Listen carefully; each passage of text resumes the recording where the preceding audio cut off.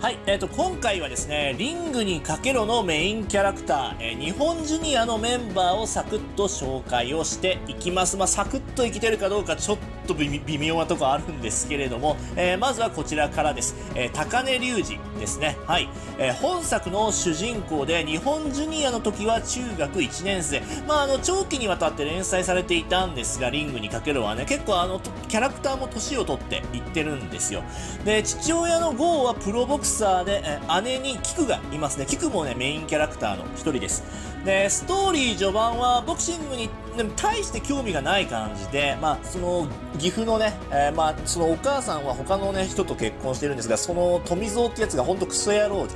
その富蔵に虐待されたりとか、あと上京した後もちょっとの間ね、えー、いじめにあったりもしていたんですが、えー、菊の導きや、えー、剣崎との出会いにより、えボクサーとしての類稀な才能を開花させていきます。で、ボクサーとしてのね、実力をつけ始めると、いわゆるまあ優しく頼りがいがあるね、主人公らしいね、え、人物になっていた一方ですね、他のキャラと比べるとちょっと個性がない印象もね、あったかもしれないんですが、要はまあリングにかけろっていうのは結構激しい戦い、まあストーリーがあったり、あと個性的なキャラがどんどんね、あの、登場していたんで、まあその中でね、やっぱ自分はリュウジの存在っていうのは癒しになりましたね。やっぱそのリュウジの顔を見るだけでホッとする部分はありましたね。はい。他の漫画になっちゃうんだけど、例えばね、その復活後、えー、パーフェクトオリジン編以降の筋肉マンもその、と同じような感覚で自分は読んでいました。で、数々の激闘が繰り広げられる繰り広げられる中ですね、常にその中心に立ち、戦いに終止符を打っていました。時には凄まじいほどの威力を誇るカイザーナックルっていうちょっとあのなんか本作でも異色な存在なんですけど、武器ですね。え武器を装備して敵に挑むこともありましたね。たまになんかボクサーじゃない、ちょっとなんかあの、怪しいというかね、あの、そういった存在と戦う時もあったんですよね。で、最後はですね、世界タイトルマッチで剣崎に勝利し、えー、菊が待つ教会で菊と剣崎に見守られながら眠るように横たわっていました。まあ、あの、剣崎と竜児の体はもうすでに限界だったんですよね。まあ、そのね、その点について他のね、日本ジュニアのメンバーも同じことが言えたかもしれないんですが、えー、次にまあ、主なフィニッシュブローですね。まあ、必殺技みたいな、そういう解釈でいいんでしょうかね。よくフィニッシュブローっていう表現使われていましたね。正直と、あの、リュウジの必殺技は全然、あの、今回読むまで知らなかったですね。はい。えー、まず、えー、ブブーメランフックですね。えー、あと、ブーメランスクエアです。いずれも、あの、左フックをコークスキル回転させて放つ大技です。あと、ブーメランテリオスっていうのがあって、これがブーメラン系の完成型と言っていいんですかね。かなり強力な技ですね。まあ、リングにかけろ2では、要はなんか左腕の対数螺旋の、えー、まあ、核運動量が巻き起こすジャイロスコープ効果が強極限にまでポテンシャルエネルギーを燃焼させるっていう説明があったんだけど、全然わかんないです。全然わからないんですが、えとにかくすごいパンチだったと思われます。はい。で、あとこれですね、はい、ウィニング・ザ・レインボーということで、まあ、最後のね、剣崎との戦いで披露していたんですが、まあ、ストーリー終盤に効くからえ伝授されたアッパーカット系の、えー、技ですね。はい。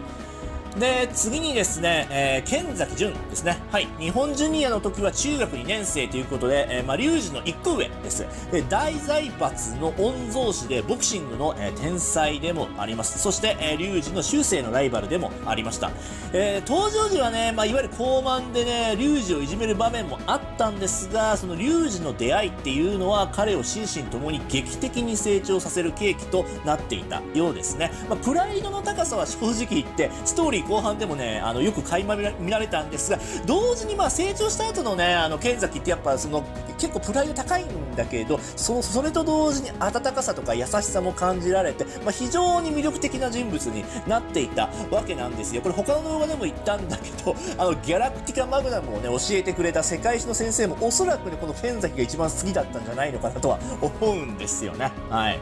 で、まあ、あの、幼い頃にね、結構キクにいいようにやられる場面もあったんだけど、後にね、キクとは恋仲になりますね。だからこういう場面があったんで、自分はキクとの関係を応援しながら読んでいたんですよ。あの、後で紹介する石松っていうキャラクターもキクのこと好きだったんだけど、まあ、石松そこは引こうってみたいな感じで読んでいましたね。はい。でまああの言い名付けでね三条かな子っていう人物もいたんですが剣崎はその婚約をまあ後にね一方的に破棄します。まあかな子もかな子でその頃はそのまあ龍二の方を持っていてですねそんな彼女を考慮しての行動でもあったかもしれないですね。はい。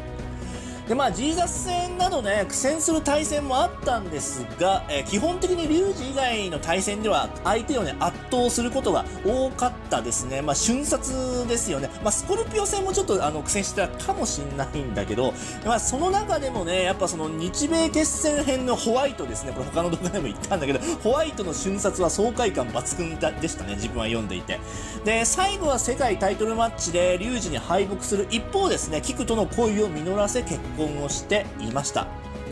で、次に主なフィニッシュブローなんですが、えー、これですね。はい、ギャラクティカマグナムです。まあ、敵を場外へ吹き飛ばすほどの威力を持つ右のフィニッシュブローっていう説明が、えー、されているんですが、だからスコルピオ戦では結構高い場所にある窓からスコルピ、スコルピオがね、あのー、窓を突き破って外場外へ吹き飛ばされて いきましたね。はい。で、このギャラクティカマグナムは自分が初めてね、覚えたリングにかけろのフィニッシュブローですね。あの、さっき言ったあの世界史の先生が教えてくれたんですよね。はい。ものすごい熱血に言ってました。っていうかね、あの、これしかね、しばらく知らなかったんですよ。だから、こう、あの、今から言うね、そのギャラクティカファントムとか全く知らなかったんですよね。で、次が今言ったギャラクティカファントムですね。これはギャラクティカマグナムよりさらに強力なこの左のフィニッシュブローです。はい。で、次に香取石松ですね。はい、えー、日本ジュニアの時は中学1年生でした。千葉県出身です。まあ、なんで、リュウジの同い年ですね。はい。えー、喧嘩チャンピオンっていう異名を持って、喧嘩はかなり強いんですよね。そのせいか、まあ、トリッキーなファイトを展開する印象が強いですね。日本ジュニアでは先鋒を務めることも何度かあり、切り込み隊長っていうイメージも、えー、持っています。メインキャラの中ではね、圧倒的ですね。圧倒的に小柄っていうのもね、大きな特徴の一つでした。えー、車田先生の作品において、これもいろんな考えあると思うんですが、おそらく、ま、美男子ではないと思うんですよね。あの石松は。えー、美男子ではないキャラの中で最も活躍したキャラ候補になるんじゃないかなと思いながら自分は読んでいたわけなんですよね。まあ、小柄なキャラの中では図抜けで活躍してきた印象はあるんですが、小柄っていうとどうかな？セイントセイヤの危機とかそうな、そこに入ってくるんですかね？サイレントナイトショーのシーリンはちょっと違う気がするんですけれども、まあ、あの、小柄のキャラって言っても、そんなで巨漢キャラほど多くはないイメージはありますけどね。ちなみにね、リングにかけろ2では大幅ですかね。あの、結構かっこよくなっていましたよね。はい。で、キクに思いをね、寄せていたんですが、自分はさっきも言ったように、剣崎の方を応援していました。やっぱり剣崎とキクのやりとりを見ていたら、まあそうなっちゃうのかなとは思うんですが、えー、ジーザスとの対戦をね、控えてる剣崎に対して、キクをめぐり勝負を挑むも敗北。えー、しかし剣崎は石松が喧嘩師としてね、戦いに挑んでいたら、自分の拳が潰されていたと話し、まあ石松の男気と実力をね、大いに評価する場面もありました。したね。はい。だからまあ喧嘩だとすれば何でもありなんでね、まあいろんな戦法が使えたんですけど、あくまでボクサーとして勝負を挑んだ感じでしたよね。はい。で、主なフィニッシュブローとしては、えハリケーンボルトですね。空高く、えジャンプをしてから、え加速を得て落下。それで得た勢いをそのまま拳に、え集中させ、相手の顔面に打ち込むといったものですね。なんか結構避けられやすいっていうツッコミがあったんですかね。はい。で、えー、次にスパイラル台風ですね。これはまあハリケーンボルトに、えー、まあ螺旋回転のムーブを加えた上位互換技ですね。なんとなくなんかウォーズマンのスクリュードライバーかなと思う時もあったんですけれども、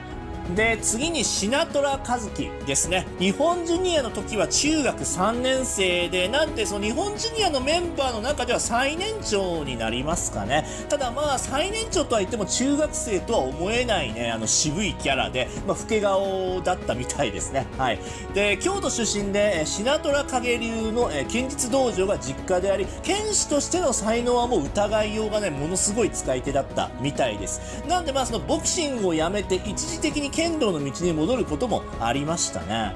で、幼い頃、父親の、まあ、狂気とも言えるね、無茶な特訓で右腕を痛めてしまい、満足に動かすことができないんですよ。どんな特訓だったかというと、回転する刃がついた羽を避けて、その先にある弾を取るっていう特訓で、その時に手を出して、刃でやっちゃったんですよね。右腕で。でただ、後にね、父親が課した特訓よりも高難度のものをクリアしていましたね。はい。まあ、これはまあ、ボクシングで鍛えた賜物みたいな感じだったんですが、なんかこの特訓ってなんか自分男塾でも似たようなことしてたやつ言ったような気がするんですけどね。はい。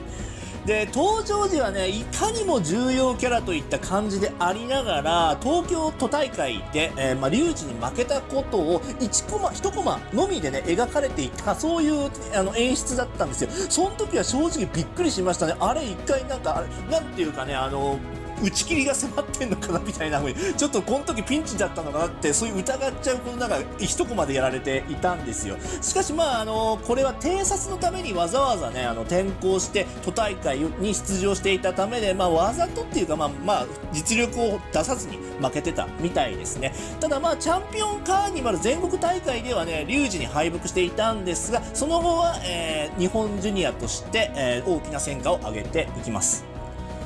で、主なフィニッシュブローなんですが、まずはローリングサンダーですね。これはあの、左手1本で、さっきも言ったように右腕がほとんど使えないんで、左手1本で0.1秒の間に3発のパンチを顔面、顎、溝落ちに叩き込むといったもので、まさに電光石火の技ですね。はい。